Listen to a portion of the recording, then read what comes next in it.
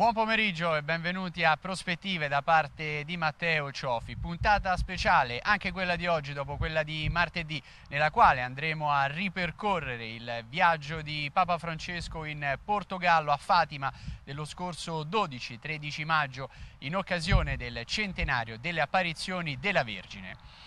Dopo la cerimonia ufficiale di benvenuto, il pontefice incontra privatamente il presidente della Repubblica nella base aerea di Montereal e dopo una rapida visita alla cappella della base aerea stessa si dirige al santuario di Fatima con il successivo passaggio alla cappellina delle apparizioni.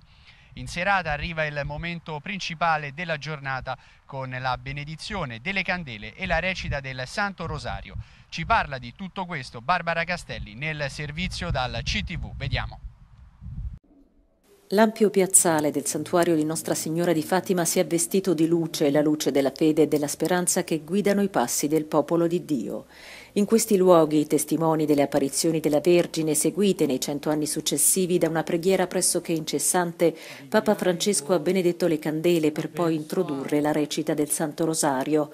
I grani della corona, scivolando tra le dita delle donne e degli uomini che invocano la misericordia di Dio, consentono al Vangelo di riprendere la sua strada nella vita di ognuno, delle famiglie, dei popoli e del mondo, e leniscono le ferite dei diseredati e infelici ai quali è stato rubato il presente, degli esclusi e abbandonati ai quali viene negato il futuro, degli orfani e vittime di ingiustizia ai quali non è permesso avere un passato.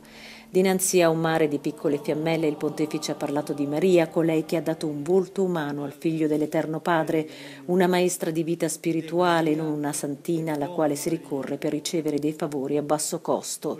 Ogni volta che guardiamo a Maria, ha precisato, torniamo a credere nella forza rivoluzionaria della tenerezza e dell'affetto. In lei vediamo che l'umiltà e la tenerezza non sono virtù dei deboli, ma dei forti, che non hanno bisogno di maltrattare gli altri per sentirsi importanti. La Vergine ci conduce al suo figlio che non negò il peccato ma ha pagato per noi sulla croce. Grande ingiustizia infatti si commette contro Dio e la sua grazia quando si afferma in primo luogo che i peccati sono puniti dal suo giudizio, senza anteporre che sono perdonati dalla sua misericordia. Nella fede che ci unisce alla croce di Cristo, ha concluso il pontefice, siamo liberi dai nostri peccati, mettiamo da parte ogni forma di paura e timore, perché non si addice a chi è amato. Il secondo giorno di Papa Francesco a Fatima inizia con l'incontro con il primo ministro. A seguire la visita alla Basilica e la Santa Messa dal Sagrato del Santuario di Fatima, il servizio sulla canonizzazione di Francesco e Giacinta Marto. Un corale e lungo applauso ha salutato la canonizzazione dei veggenti di Fatima, Giacinta e Francesco Marto.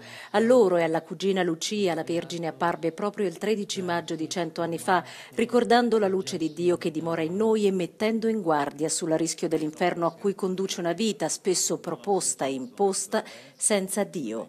La messa di canonizzazione celebrata da Papa Francesco sul sagrato del santuario in latino e portoghese è stata una vera festa della fede, soprattutto per le migliaia di persone che hanno tinto con i colori del mondo il vasto piazzale.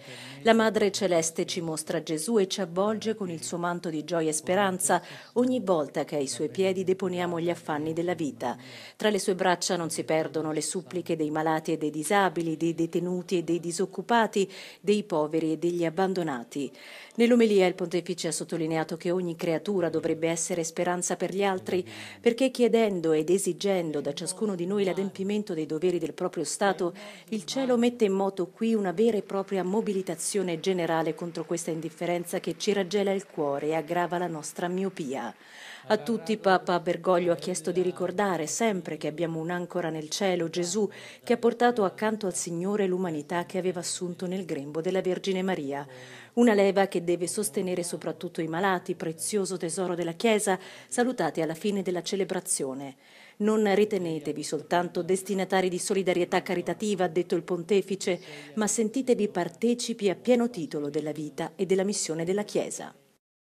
È tutto anche per oggi, grazie per la vostra cortese attenzione, buon proseguimento con i nostri programmi ed appuntamento a martedì prossimo.